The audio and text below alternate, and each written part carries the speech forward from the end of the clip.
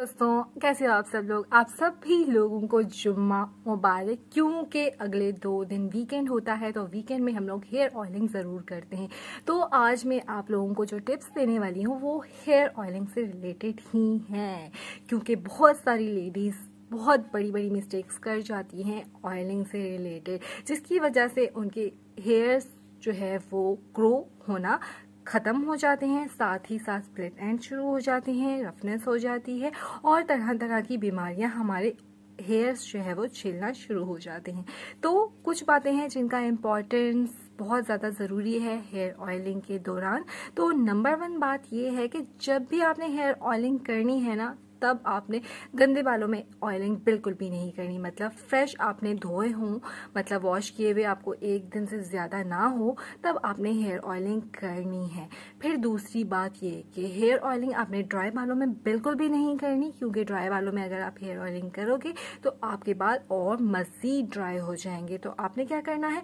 अपने बालों को थोड़ा थोड़ा वेट करना है, उसके बाद आपने ऑयलिंग करनी है। तो फिर आप लोग देख लीजिएगा कितने सॉफ्ट और शाइनी आपके हेयर्स होते हैं।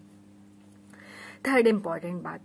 थर्ड इंपॉर्टेंट बात ये है, कोई भी ऑयल यूज़ करो, कोई ऑयल मैं आपको रिकमेंड नहीं कर रही हूँ।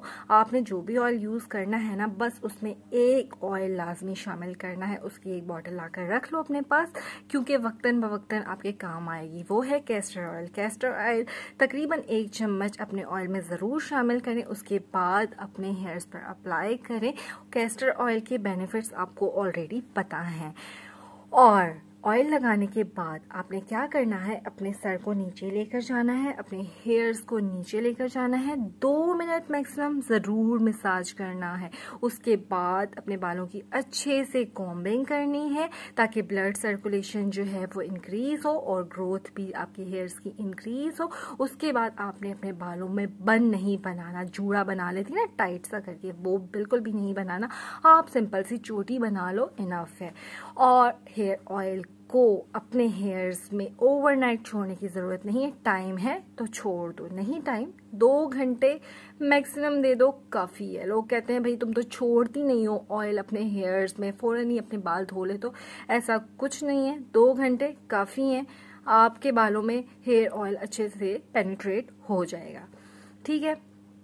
फिर इसके बाद जब आप ऑयलिंग वॉयलिंग का प्रोसेस ख़त्म हो जाए ना तो आपने क्या करना है, कोशिश करो थोड़ा सा अपने बालों को ना स्टीम दे दो। गर्म टॉवल करके अपने बालों पे चढ़ा लो। गर्मी आए, ये नहीं मैं रिकमेंड करूँगी कि लाजमी स्टीम दो, नहीं दो, सर्दियों में दे दिया करो। लेकिन अगर आप दे सकते हो तो लाजमी दो, उससे आपके बालों की शाइन जो है वो इंक्रीज होगी। फिर एक और इंपॉर्टेंट बात वो आ जाती है कि जैसे ही हम लोग शॉवर लेकर निकलते हैं, वैसे ही ड्रायर को डाला, अपने हेयर्स पे किया, और जो है ना, अपने हेयर्स ड्राई कर लिए। ऐसा आपने बिल्कुल भी नहीं करना। आपने क्या करना है? नॉर्मल एयर में अपने हेयर्स को जो है वो ड्राई होने देना है। उसके बाद ही आपने अपने हेयर्स को जो है वो कोई हीट लगानी है। ये सब प्रोसेस कर लोगे ना, कोई डीआईवाई हेयर मास्क अप्लाई करने की ज़रूरत नहीं पड़ेगी। कोई महँगा ऑयल जो है वो ऑनलाइन मंगवाने की बिल्कुल भी ज़रूरत नहीं पड़ेगी। इस ही ऑयलिंग टिप को अगर आप फॉलो करोगे तो आपके बाल देखना एक महीना लगेगा और आपके बाल जो है वो शाइनी भी होंगे, उनकी ग्रोथ भी इंक्रीज होगी, घने भी होंगे और साथ के साथ जो गंजापन है वो भी ख़त्म हो जाएगा।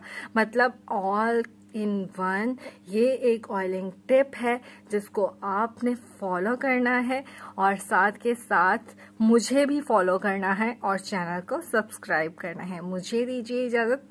Love you all